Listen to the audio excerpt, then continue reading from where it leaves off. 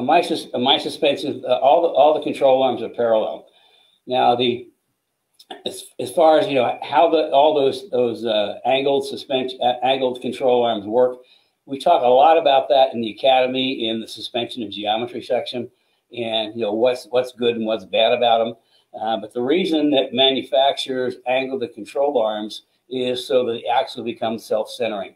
If the axle is self-centering, they don't have to put like a Panhard bar in, and that's uh, more cost-effective. And the older Mustangs, I think they were out like maybe three to five degrees on the on the on the bottom, and about 40, 45 degrees the other way on the top. Uh, the new 197s, they're out about maybe four or five degrees on the bottom. However, uh, if you do if you're doing geometry, uh, and we're taking, let's say we're taking a look at the suspension from up high looking down, plan view. Uh, if you were to take the, the angle of those control arms and draw a line to where they intersect, and in the one in the 197s intersect you know, well behind the car, and take that line and draw it through the roll center, which in the stock Mustang is pretty high, then all of a sudden that gives you kind of a roll axis. And uh, the roll axis of a stock Mustang is kind of like up in the air uh, rear, rear suspension roll axis. It kind of points up in the air. So what I do is on our, our uh, AGS 4.0 rear grip kit, uh, we actually, I have offset bushings, uh, front and rear, so that we move the, the, uh, the front in and the back out. So we end up with a parallel, parallel to center line control arm. And when we're parallel to center line, what that does is that all of a sudden you don't have any line of conversion. So we have no, so without a line of conversion, that means the intersection point is infinity.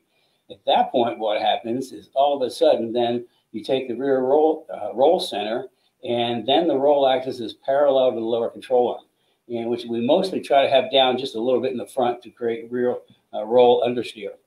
Uh, but see, the having the control arms straightened out is only one part of our AGS 5.0, 4.0 suspension system, uh, and specifically the rear grip kit, because there's a lot of elements that make the whole rear grip kit work. Now, I kind of, uh, for those that, maybe haven't uh, heard a lot about the rear grip kit, I'm going to go through it again, just kind of briefly, that's so that you know it's a system. Yeah, we, we sell control arms, uh, and everything else, but more, we'd rather sell the entire system because every single component is engineered specifically to work with every other single component.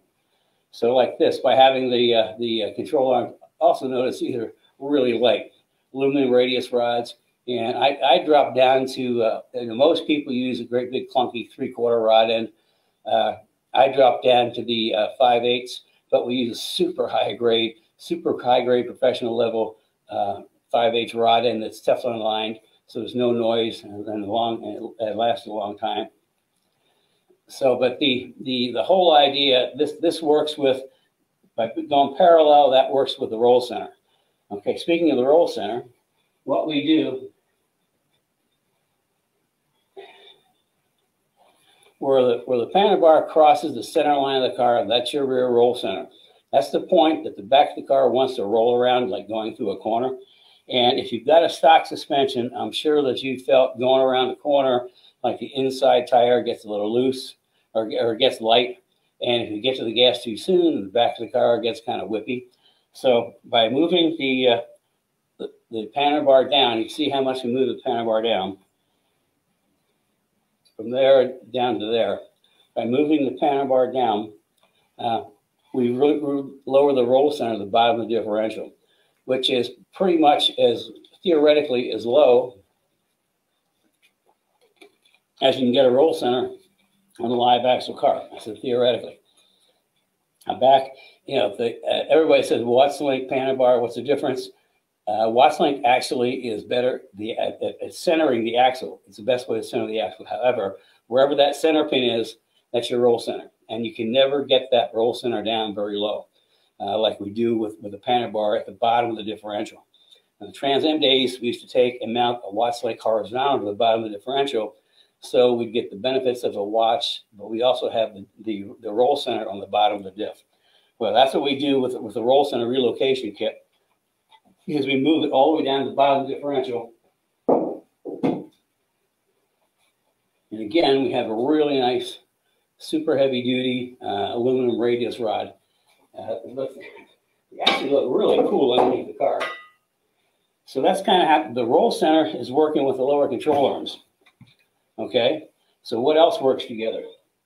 Well, the axle brackets, our axle brackets and the upper control arm module uh, is how that is, is, kind of, they work together too. Now, this, these are our axle brackets, and um, sure you've seen a lot of other people's axle brackets out there that have a lot of holes, and the great big you know, part of the thing comes up in the back, and it's you know, they, they seem clunky. This is this is pretty straightforward, and you can notice there's only one hole. Uh, the reason for that is I've already done the engineering, and I've picked the location for the lower control arm that creates the instant center I'm looking for.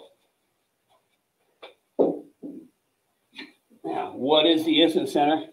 The instant center is you look at the car sideways, and again, if you uh, draw a line, lower control arm, upper control arm, the point of conversion is called the instant center. And wherever that instant center is dictates how much anti-squat there is in the car or how fast you get weight on the tires for traction. And the other part of that is the upper control arm module works together with the axle brackets. Now this is different. You probably a lot different than anything else you've seen out there for a couple reasons. Well, first of all, the control arm is longer than stock. Secondly, the pickup point has been moved. Like I say, I, I, put the pickup points for the lower control arm and the upper control arm so I get the instant center I'm looking for, so I'm getting the anti-squat I'm looking for. And the thing about this is you notice the our uh, up, uh, upper control arm is curved. With a really good reason for that. When we run cars you know, fairly low on track, or even on the street, if you hit a big bump and you've got a straight uh, upper control arm, it, it's going to crash into the into the tunnel. So I don't know why more people don't curve their upper control arms, but uh, we do, and it works very well. So that's kind of like an entire system that works together. So we've got the upper control arm module, the axle brackets are creating the instant center, which is anti-squat. And anti-squat is also anti-lift under braking, so the back of the car doesn't want to hop up. And then the, the Panhard bar moves all the way down the bottom of the front, so lower the roll center. And the lower control arms are parallel, so we, we bring the roll axis down parallel to the, uh, to the lower control arms. The other thing about bringing the rear roll center down, if you've gone around a quarter fast in a Mustang, it feels like first thing you feel is you turn in and it kind of let you start to get some understeer or a push. Uh, and that's because what's happening is the front roll center and the lower Mustang is really low. It's, it's, like at ground or below ground, and the rear is really high. So it's kind of like this. So as you go into a corner and the car starts to roll, it's rolling all that weight up on the outside front tire, which is why you get, you can turn in, but then you get like understeer through the corner, and then you have to wait for the axle to settle because again, the roll center is high to get back to the gas. That's a typical Mustang going around a corner. But what we what I do with with the AGS 4.0, the rear, the rear suspension, obviously we bring the rear roll center down. The front grip kit, we bring the front roll center up, so it's a lot flatter, which means going around the corner, you're not rolling up on that outside tire, which means we're taking a lot of the uh, the uh, understeer away. Uh, plus, we've got other geometry in in the uh, front grip kit that helps the car. I mean, the cars just turn. You know, it's not like people are amazed how they're used to fighting with understeer through a corner and with a rear grip kit, front grip kit, the cars just turn. In fact, my suspension only has three components, the rear grip kit, front grip kit, springs and shocks. So, and like I say, all the engineering's done. All you have to do is bolt it on, follow instructions, and the cars will handle like crazy. Uh, so also by front roll center up, rear roll center down, the, the, car doesn't push as much through the corner and you don't have to wait as long uh, for the for the axle to settle, so you get back to the gas a lot sooner, which means you're making the next straightaway longer. And because we've done anti-dive in the front and anti-lift in the back, you, you, can brake a lot later than anybody else, which makes that straightaway longer. So we make the straightaways longer and the corners shorter because the car will rotate really well with the front geometry and then the way we do the roll centers. So you know that gets back to the original question. I don't I don't do uh, splayed control arms. Everything I do is parallel. Uh, but if you do a parallel control arm, you have to use something to, to locate the axle, lateral location of the axle. In this case, it's the Panhard bar. But like I say, you know, factory cars that have double splayed uh, control arms, that's simply because they use that to center the axle. Uh, so it makes it simple and, and inexpensive for the manufacturers.